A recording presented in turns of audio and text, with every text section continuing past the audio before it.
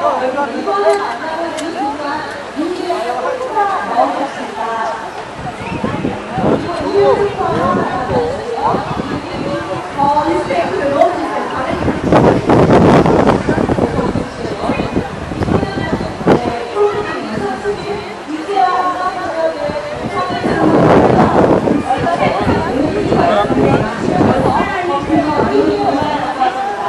네, 프